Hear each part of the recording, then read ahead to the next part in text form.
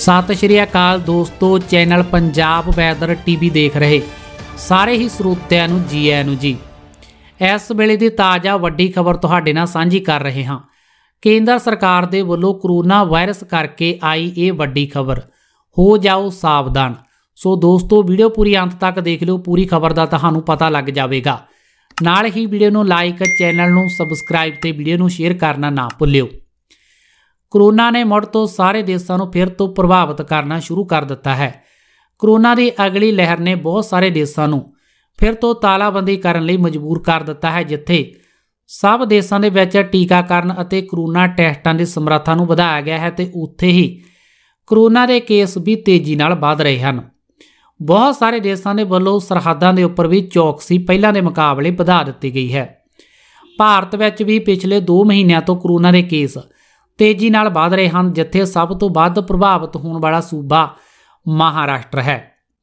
ਕੇਂਦਰ ਸਰਕਾਰ ਦੇ ਵੱਲੋਂ ਵਧ ਰਹੇ ਕਰੋਨਾ ਕੇਸਾਂ ਨੂੰ ਵੇਖਦੇ ਹੋਏ ਬਹੁਤ ਸਾਰੀਆਂ ਪਾਬੰਦੀਆਂ ਲਗਾਈਆਂ ਜਾ ਰਹੀਆਂ ਹਨ।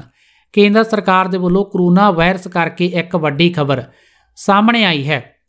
ਦੇਸ਼ ਦੇ ਅੰਦਰ ਵਧ ਰਹੇ ਕਰੋਨਾ ਕੇਸਾਂ ਨੂੰ ਲੈ ਕੇ ਸਰਕਾਰ ਕਾਫੀ ਚਿੰਤਤ ਹੈ। ਕਰੋਨਾ ਕੇਸਾਂ ਦੇ ਵਾਧੇ ਨੂੰ ਵੇਖ ਕੇ ਨੀਤੀ ਕਮਿਸ਼ਨ ਦੇ ਵੱਲੋਂ ਆਉਣ ਵਾਲੇ 4 ਹਫ਼ਤੇ ਕਾਫੀ ਨਾਜ਼ੁਕ ਦੱਸੇ ਗਏ ਹਨ। ਨੀਤੀ ਕਮਿਸ਼ਨ ਦੇ member doctor B K Paul ਨੇ ਪੱਤਰਕਾਰ ਸੰਮੇਲਨ ਦੇ ਦੌਰਾਨ ਦੱਸਿਆ ਹੈ ਕਿ ਕਰੋਨਾ ਦੀ ਅਗਲੀ ਲਹਿਰ ਪਹਿਲਾਂ ਦੇ ਮੁਕਾਬਲੇ ਵਧੇਰੇ ਤੇਜ਼ੀ ਨਾਲ ਫੈਲ ਰਹੀ ਹੈ, ਜਿਸ ਦੇ ਨਾਲ ਕਈ ਸੂਬੇ ਦੇ ਅੰਦਰ ਹਾਲਾਤ ਕਾਫੀ ਚਿੰਤਾਜਨਕ ਹੋ ਰਹੇ ਹਨ। ਉਹਨਾਂ ਨੇ ਕਿਹਾ ਹੈ ਕਿ ਆਉਣ ਵਾਲੇ ਕੁਝ ਦਿਨਾਂ ਦੇ ਵਿੱਚ ਲੋਕਾਂ ਨੂੰ ਵਧੇਰੇ ਸਾਵਧਾਨੀ ਵਰਤਣ ਦੀ ਲੋੜ ਹੈ, ਤਾਂ ਜੋ ਇਸ ਕਰੋਨਾ ਨੂੰ ਕਾਬੂ ਕੀਤਾ ਜਾ ਸਕੇ। ਉਹਨਾਂ ਨੇ ਕਿਹਾ ਹੈ ਕਿ ਅਗਰ ਕਰੋਨਾ ਕੇਸ ਇਸੇ ਤਰ੍ਹਾਂ ਤੇਜ਼ੀ ਦੇ ਨਾਲ ਫੈਲਦਾ ਰਿਹਾ ਤਾਂ ਦੇਸ਼ ਦੇ ਵਿੱਚ ਬਹੁਤ ਹਾਲਾਤ ਗੰਭੀਰ ਸਥਿਤੀ ਪੈਦਾ ਹੋ ਸਕਦੀ ਹੈ। ਮਹਾਰਾਸ਼ਟਰ ਸਭ ਤੋਂ ਵੱਧ ਪ੍ਰਭਾਵਿਤ ਹੋਣ ਵਾਲੇ ਸੂਬੇ ਦੀ ਹਾਲਤ ਇਸ ਸਮੇਂ ਚਿੰਤਾਜਨਕ ਬਣੀ ਹੋਈ ਹੈ। ਜਿੱਥੇ ਪਾਬੰਦੀਆਂ ਲਾਗੂ ਕਰਨ ਦੇ ਬਾਅਦ ਵੀ ਮਰੀਜ਼ਾਂ ਦੀ ਗਿਣਤੀ ਲਗਾਤਾਰ ਤੇਜ਼ੀ ਦੇ ਨਾਲ ਵਧ ਰਹੀ ਹੈ ਤੇ ਹੁਣ ਤੱਕ ਕਈ ਜ਼ਿਲ੍ਹਿਆਂ ਦੇ ਵਿੱਚ ਰਾਤ ਦਾ ਕਰਫਿਊ ਵੀ ਲਾਗੂ ਕੀਤਾ ਗਿਆ ਹੈ। ਉੱਥੇ ਹੀ ਮਹਾਰਾਸ਼ਟਰ ਸਰਕਾਰ ਦੇ ਵੱਲੋਂ ਕਰੋਨਾ ਦੀ ਸਥਿਤੀ ਨੂੰ ਵੇਖਦੇ ਹੋਏ ਸ਼ੁੱਕਰਵਾਰ ਤੋਂ ਸੋਮਵਾਰ ਤੱਕ ਤਾਲਾਬੰਦੀ ਕਰਨ ਦਾ ਵੀ ਐਲਾਨ ਕੀਤਾ ਹੋਇਆ ਹੈ।